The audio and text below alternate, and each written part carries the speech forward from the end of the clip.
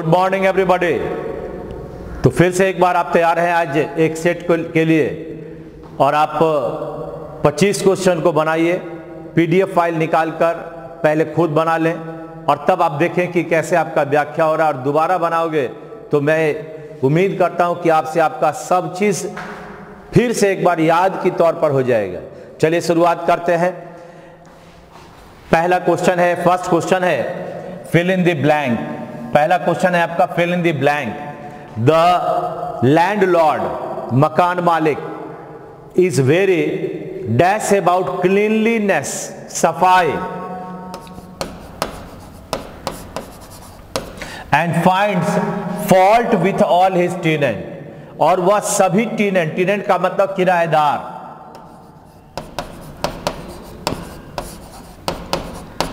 किराएदार में हर तरह के फॉल्ट यानी कमी को खोजते रहता है। इसका मतलब हुआ कि लैंडलॉर्ड अपने सफ़ाई के लिए पूरी तरह से दृढ़ संकल्प है, वह जिद्दी है, वह चाहता है कि सब लोग उसके जो घर है, उसको सर सफ़ाई करके रखे। तो इसके लिए वह क्या है? जिद्दी है। क्या मैं वर्ड बोला? जिद्दी है। फास्टिडियस का मतलब जिद्दी होना। फैबुलस माने शानदार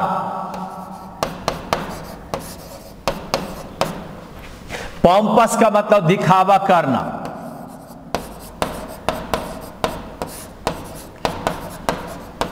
और ऑमिनस का मतलब होता है अशुभ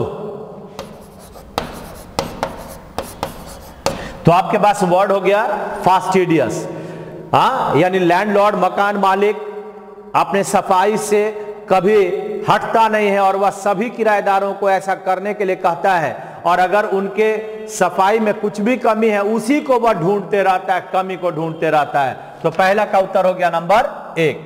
क्वेश्चन नंबर दो। आपके पास है सिनोनिम। एक समान। एक समान का मतलब है इग्नोमिनस। इसका मतलब घृणा। घृणित। कोई भी घृणा का योग्य है, इसका होगा डिसग्रेसफुल हाँ डिसग्रेसफुल का मतलब भी घृणा घृणा से संबंधित वंडरफुल माने शानदार। इनोक्यूअस बिना हानि का।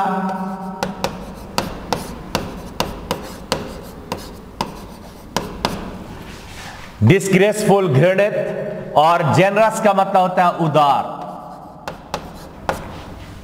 ये वो आपका इग्नोमिनस का वर्ड होगा डिसग्रेसफुल यानी घृणित।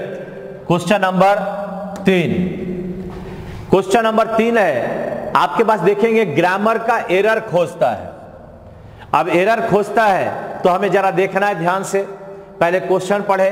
Climate change are a greatest threat are a greatest threat facing our planet which needs our immediate attention आप देखें ध्यान से, दो दो गलतियाँ हैं।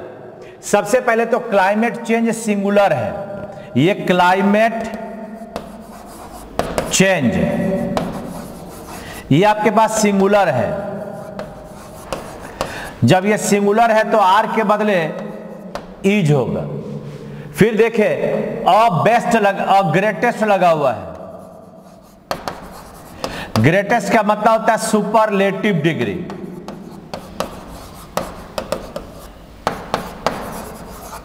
तो सुपरलेटिव डिग्री के पहले कभी एक का प्रयोग नहीं होता है, बल्कि द का प्रयोग होता है. इसका मतलब climate change is the greatest threat climate change is यहाँ चेंज के बाद इज़ आ गया और ए के बदले द आ गया. ध्यान देना है दो दो गलतियाँ हैं, इसका उत्तर होगा नंबर एक. आर और ए गलत हो गया और इस दोनों के बदले होगा इज़ और द। ठीक है ना? ग्रामर का कोई भी पार्ट उसे अपना बना लो। जैसे डॉक्टर हर का अपना अपना एक मास्टर होता है, कोई नाक का डॉक्टर है, कान का डॉक्टर है, बाल का डॉक्टर है, स्किन का डॉक्टर, उसी तरह आप अपने आप को सेट करो कॉमन ईयर के साथ। जीत जाओगे। आगे बढ़ते हैं, नेक्स्ट क्वेश्चन की ओर। फिर से आपके पास है एरर जब हम एरर कहते हैं तो पहले पढ़ें great many students who are good at other subjects perform poorly in English कभी भी ग्रेट मेनी का प्रयोग नहीं होता है। जब होता है तो ग्रेट मेनी के बदले होता है a great many plus plural noun तो यहाँ पर ए ग्रेट मेनी, यानी उत्तर अमर होगा चार। ए ग्रेट का प्रयोग होगा। ठीक है ना? कभी भी आपके पास याद रखना, केवल ग्रेट मैनी का प्रयोग नहीं होता है, ए ग्रेट मेनी। आगे बढ़ते हैं नेक्स्ट की ओर। डिस्कवर सिनोनिम है। डिस्कवर का मतलब खोजना।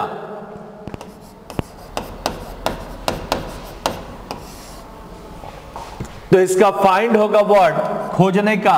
वर्ड होगा फाइंड फाइंड का मतलब खोजना। इग्नोर का मतलब नकारना।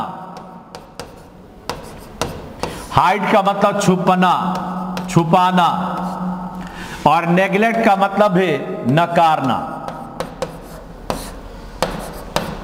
आप इग्नोर को अनदेखी भी कह सकते हो। अनदेखी कर देना। ठीक है ना? उत्तर नंबर होगा पाँच का चार। क्वेश्चन नंबर छ क्वेश्चन नंबर में आपके पास क्या है? यह भी एक ग्रामर का क्वेश्चन है, जिसको कहते हैं sentence improvement sentence improvement this was and only the mistake ये इस तरह से एंड वनली द ये कभी ओनली के पहले द का प्रयोग नहीं कर सकते हैं। यानी हमारे पास एन का प्रयोग हटा और ये ओनली किस पर जोड़ कर रहा है? मिस्टेक पर। यह एकमात्र गलती है। उत्तर नंबर होगा this was this was the only mistake this was the only mistake यानी उत्तर नंबर ये मिस्टेक के पहले वन लिया जाएगा, इसलिए उत्तर नंबर तीन। ठीक है, आगे बढ़ते हैं नेक्स्ट की ओर चलते हैं। ग्रुप ऑफ़ वर्ड्स को हमें ढूंढना है वन वर्ड सब्सटीट्यूशन जहाँ one who eats too much जो बहुत ज़्यादा बहुत ज़्यादा खाता है। ग्लूटन बहुत ज़्यादा खाने वाला ग्लूटन बहुत ज़्यादा खाने वाला ग्लूटन ओवरवेट ज़्यादा वज़न वाला, ज़्यादा वज़न। ओबेस का मतलब होता है? मोटा। और कॉर्पुलेंट का मतलब चर्बी वाला। यानी मोटा। चलिए भाई, अगले क्वेश्चन की ओर चलते हैं, जहाँ एक क्लोज टेस्ट दिया है, और इस क्लोज टेस्ट पर आधारित आपको नीचे इसका ऑप्शन दिया, उससे उसको फिल करना है। पहले पढ़ लेते हैं। Each child deserve love and care प्रत्येक बच्चा को उसकी सुरक्षा, उसका देखभाल और उसे प्यार चाहिए। The child who is dash for what he is even if he slow अगर कोई लड़का स्लो है, धीरे काम करता है और डैश है will grow with confidence in himself अगर किसी बच्चे को आप अच्छे से उससे बात करते हैं तो यहाँ तक कि वह स्लो है, क्लमसी है, फिर भी वह अपने अंदर कॉन्फिडेंस को प्राप्त करेगा। He will dash the ability to make the best use वह अपनी क्षमता का, पूरा का पूरा माने विचार करेगा और और कहीं ना कहीं बेस्ट करके उसे ऑफ़ द डैश डैश जो भी उसे अवसर मिलेगा, उसके रास्ते में जो अवसर मिलेगा, उस पर बेस्ट काम करके वह उस पर जीत हासिल करेगा and make light of any dash that may pose difficulties in his path और किसी भी तरह का जो भी उसके पास समस्या आएगा उस समस्या से वह कहीं ना कहीं अपने आप को खत्म कर पाएगा। समस्या जो भी आए, उस समस्या से अपने आप को वह दूर करेगा। अब देखें क्वेश्चन तो each child deserve love and care the child who is the child who is dash for what is even कहता है अप्रिसिएटेड होगा। अगर बच्चे को आप उसका अप्रिसिएट करते हो, प्रशंसा करते हैं। इफ़ ही स्लो अगर वह धी, धीमाट है, कम काम करता है एंड क्लमसी भद्दा है। क्या होगा? स्लो और clumsy will grow with confidence वह कॉन्फिडेंस के साथ आगे बढ़ेगा इन हिमसेल्फ अपने आप में। ही विल ही विल क्या करेगा? Develop the ability to make the best हा? डेवलप बढ़ाएगा अपनी एबिलिटी को. He will develop the ability to make the best use of the use of the opportunities which come his way जो भी उसके रास्ते में अवसर आएँगे अपॉर्चुनिटी का मतलब अवसर, उस पर वह जीत हासिल करेगा which come his way and make light of any any handicaps that may pose difficulties in his path और जो भी उसके हैंडीकैप्स उसके रास्ते में आएँगे, यहाँ हैंडीकैप का मतलब ऐसे हैंडीकैप मतलब विकलांग, लेकिन यहाँ पर हैंडीकैप का मतलब कठिनाई। जो भी कठिनाई आएगा, उस कठिनाइयों पर वह जीत हासिल करेगा। अगर बच्चे को लव और केयर की ज़रूरत है तो हमें भी उन्हें हर कदम पर उन्हें अप्रिसिएट करना चाहिए, चाहे वह भद्दा हो स्लो हो, क्योंकि अगर हम अप्रिसिएट करते हैं तो कहीं ना कहीं वह अपने अंदर कॉन्फिडेंस को डेवलप करेगा। जो जो भी अवसर उसे आता है, उस अवसर को भुनाने का प्रयास करेगा।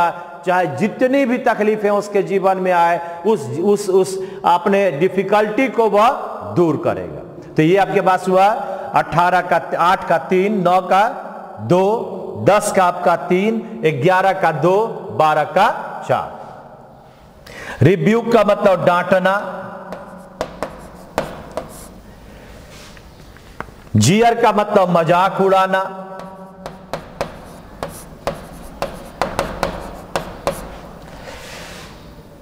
कर्टियस का मतलब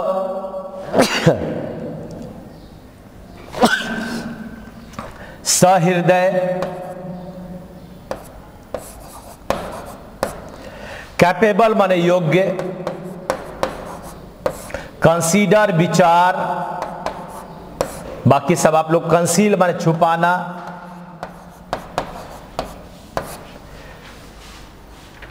इंट्रूजन का मतलब होता है घुसपैठ।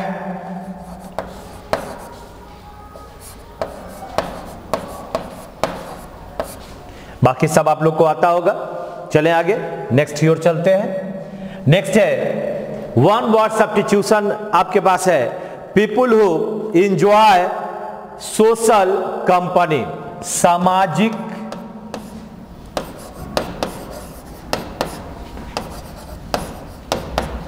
सामाजिकता में विश्वास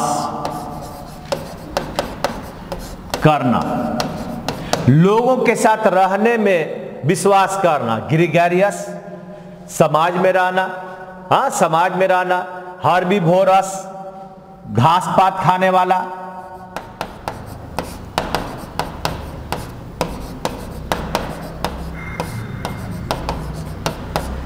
गॉर्जियस भड़कीला चमकीला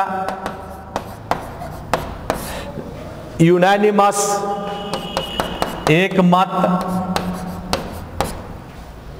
तो जो समाज में रहना पसंद करता है, आप इसको ऐसे भी कह सकते हैं, समाज में रहना पसंद करने वाला। ठीक है ना? तो इसको कहते हैं ग्रिगेरियस सामाजिक। नेक्स्ट है, आगे बढ़ते हैं। डायरेक्ट से इनडायरेक्ट नरेशन बनाना है। तो अभी सेड है। सेड का टोल्ड होता है। तो सबसे पहले तो टोल्ड वाले में हम लोग देख लें। टोल्ड टोल्ड टोल्ड तीन में, एक में नहीं है। ये खत्म हो गया। ये नहीं हो सकता। अब देखिए आई है फ़र्स्ट पर्सन सब्जेक्ट के अनुसार सी यहाँ सी होना चाहिए और ये हैव का हैड तो सी हैड कहाँ है? आप देखें, यहाँ सी हैड है, यहाँ सी हैड है। दो में है। और यहाँ पर क्वेश्चन में नाव का मतलब देन हो जाएगा। तो नाव का मतलब देन हो जाएगा, यानी नंबर चार। क्या होगा? She told you that I बदला सी में had a thousand rupees in her purse now now का हुआ देन। उत्तर नंबर हो गया चार। पंद्रह नंबर। क्वेश्चन नंबर पंद्रह। कहता है, please lock the door. Passive form है। जैसे ही प्लीज़ से स्टार्ट होगा, प्लीज़ से स्टार्ट होने पर उसका पैसिव यू आर रिक्वेस्टेड लगाकर बनाते हैं।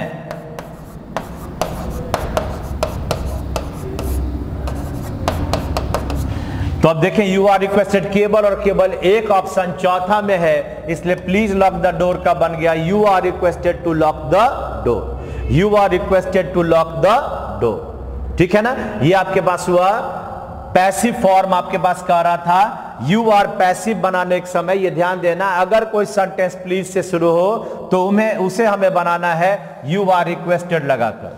चलिए, उत्तर बनाते हैं, अगला का। अगला आपके पास है जंबल सेंटेंस जंबल में पाँचों सेंटेंस को पहले पढ़ने का प्रयास करें। Till quite recently the trend was to go to west कहता है अभी का जो ट्रेंड है, जो प्रवृत्ति है, जो झुकाव है, ट्रेंड का मतलब झुकाव। वेस्ट, पश्चिमी देशों में जाने का that offered advance medical facilities, जो हमें देता है मेडिकल चिकित्सीय सुविधाएँ अधिक से अधिक। This is because it has an offer the highest level of services facilities and professional skills कहता है दिस इज़ बिकॉज़ यह इसलिए कि यह ऑफ़र करता है हाईएस्ट लेवल ऑफ़ सर्विस सेवा का सबसे उच्चतम बिंदु. हाँ और प्रोफेशनल स्किल्स उनके पास क्षमता होती है। आगे है but over the last decade पिछले दस पिछले दस सालों में द ट्रेंड हैज़ रिवर्स कहता है कि ये ट्रेंड जो है, ये बदल गया। रिवर्स का मतलब बदल जाना। And India is being chosen for medical tourism और आज भारत को हमारे मेडिकल के क्षेत्र के लिए लोग यहाँ पर आते हैं। Today it is not uncommon to travel to a foreign country for medical treatment आज अनकॉमन नहीं है कि लोग लोग फॉरेन कंट्री में जाते हैं क्या भाई? मेडिकल ट्रीटमेंट के लिए। इसका मतलब हुआ कि मेरे पास सबसे पहला डी होगा। डी का मतलब हुआ कि आज अनकॉमन नहीं है। लोग जाते हैं। क्या झुकाव था वेस्ट की ओर जाने का? यानी डी के बाद क्या होगा? A over the last decade trend बदल गया है। लोग जाते थे, अब नहीं जाते हैं। सी क्योंकि अब हम अपने हाईएस्ट लेवल ऑफ़ सर्विसेज़ और प्रोफेशनल स्किल्स के द्वारा मेडिकल के क्षेत्र में बहुत आगे बढ़ गए हैं। उत्तर नंबर होगा बी यानी एक नंबर। डी ए सी और बी चलिए नेक्स्ट क्वेश्चन है। करेक्टली स्पेल्ड वर्ड खोजता है। तो करेक्टली स्पेल्ड वर्ड में इसमें से कौन सा करेक्ट है? तो चार नंबर है genuine G E N U I N E genuine का मतलब हुआ वास्तविक।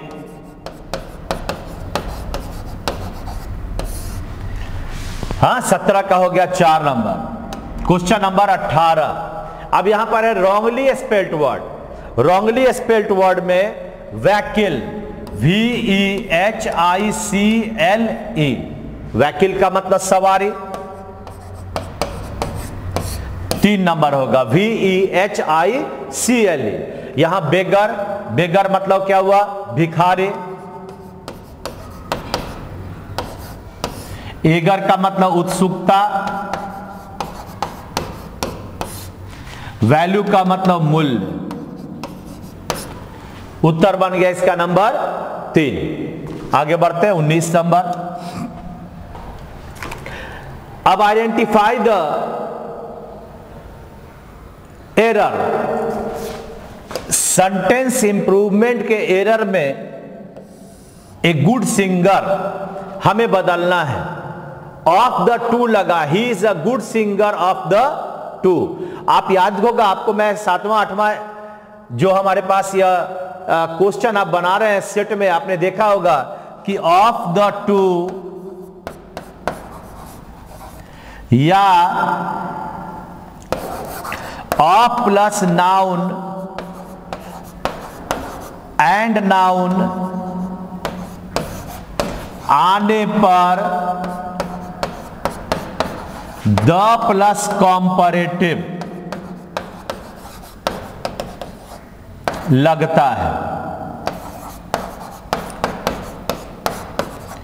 आपने इसका पहले भी व्याख्या देखा है। ऑफ़ द टू आ गया तो जनरल तौर पर हम किसी सीडी के पहले द नहीं लगाते हैं। अगर मैं कहता हूँ अगर मैं कहता हूँ he is the better than Mohan. तो यहाँ पर द का प्रयोग नहीं होगा।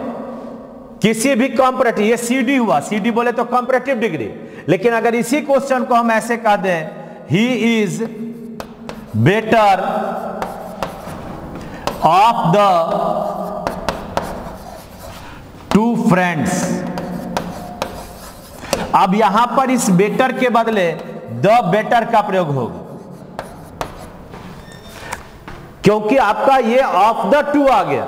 जब ऑफ़ द टू आ जाएगा तो उसके पहले द प्लस सी डी का प्रयोग आवश्यक है। ये द और प्लस सी डी तो सेम तरह से हम अपने अगर क्वेश्चन में देखते हैं तो ध्यान से देखिए, यहाँ ऑफ़ द टू लगा है तो यह ऑफ़ द टू के बाद, के पहले हमें क्या देना है?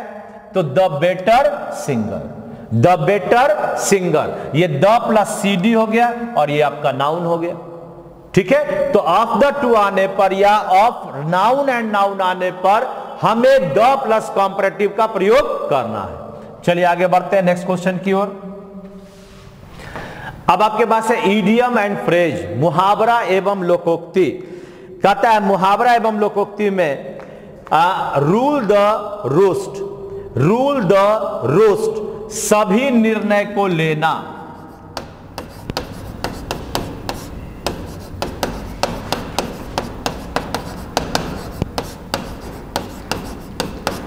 तो सभी निर्णय को लेने का वर्ड होगा to make all the decisions यानी उत्तर नंबर चार।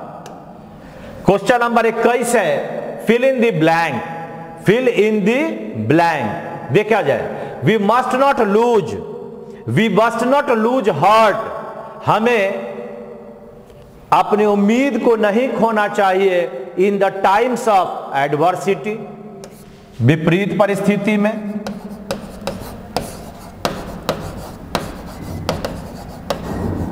विपरीत परिस्थिति में भी हमें अपने उम्मीद को नहीं खोना चाहिए एडवर्सिटी क्या है डिफॉर्मिटी विकृति। इनएक्टिविटी इसका मतलब निष्क्रियता। डाइवर्सिटी विभिन्नता। उत्तर बन गया आपका किसी भी हाल में हमें अपने विपरीत परिस्थिति में भी अपने हार्ट को लूज नहीं करना चाहिए। उत्तर नंबर दो। क्वेश्चन नंबर 22 22 में आपके पास फिर से एक बार जंबल है। तो पहले तो जंबल एबीसीडी को हम लोग पढ़े एक बार बढ़िया से। जंबल में जब हम पढ़ते हैं, कहता है this kindness converted his street into a neighbourhood kindness का मतलब दयालुता। कन्वर्ट का मतलब बदलता है। His street into a neighbourhood neighbourhood का मतलब पड़ोसी। इसका मतलब हुआ पड़ोसी। He and his wife they are always ready to lend a helping hand lend का मतलब देना। हेल्पिंग हैंड मदद करने के लिए तैयार है वह उसकी wife Mohan was an ideal neighbour in every way हर जगह पर मोहन नाम का आदमी आइडियल नेबर मने पड़ोसी है। आइडियल मने आदर्श। सबसे पहले तो सी से ही स्टार्ट होगा, कोई शक नहीं। सबसे पहले सी से स्टार्ट होगा whether it was lending tools और वाटरिंग फील्ड्स चाहे वह किसी सामान को देना हो फ़ील्ड को पानी पटाना हो the couple embodied neighbourly kindness हा? जुड़े रहते हैं। इम्बॉडीड का मतलब होता है जुड़े रहते हैं।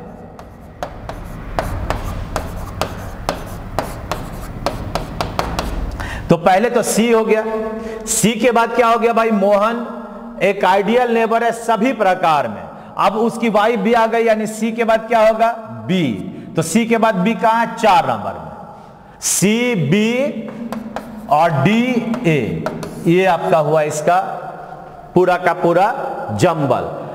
मोहन एक अच्छा नेबर है वह और उसकी पत्नी सभी लोगों को मदद करते हैं। आ, आ, चाहे वह टूल देना हो या पानी ही क्यों ना पटाना हो खेतों में और इस काइंडनेस स्ट्रीट में बदलता जाता जहाँ वो जाते हैं वहाँ उसको वह करते रहते हैं। इसलिए होगा सी बी डी और ए आइए क्वेश्चन नंबर तेईस। एंटोनिम है। एंटोनिम है लॉयलिटी। लॉयलिटी लॉयलिटी का मतलब होता है राजभक्ति। विश्वास। तो विश्वास का उल्टा खोजना है ट्रीजन, धोखा। जिसको आप कहते हो विश्वासघात।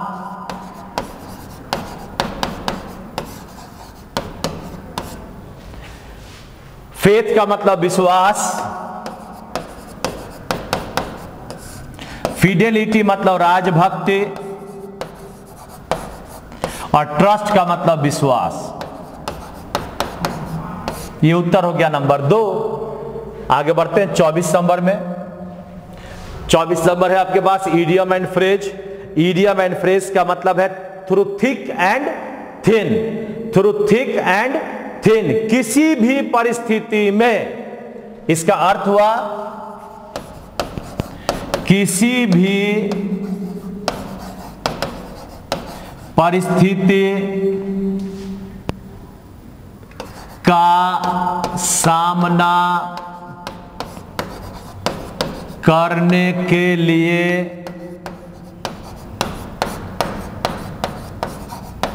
तैयार रहना। हा? किसी भी परिस्थिति का सामना करने के लिए तैयार रहना। सपोर्ट अंडर ऑल सरकमस्टांसेज परिस्थिति का मतलब हुआ सरकमस्टांसेज ये परिस्थिति। किसी भी परिस्थिति में, हर परिस्थिति में साथ देना। Through thick and thin last question है। क्वेश्चन नंबर 25 एंटोनिम एंटोनिम है। रिटेलिएशन बदला लेना। रिटेलिएशन का मतलब होता है बदला लेना। अब बदला लेना का हमें वर्ड खोजना है। एक नंबर होगा रिकंसिलिएशन यानी शांति। किसी से बदला लिया, उग्र हो गया, क्रोधी हो गया और हम शांति पूर्वक उसे अपने जैसा बनाते हैं तो री कहते हैं रिकंसिलिएशन रिग्रेशन का मतलब वापसी। यह भी आपका गुस्सा से संबंधित हुआ। रेट्रोस्पेक्शन यानी किसी चीज़ को नज़रों से देखना, सिंहावलोकन।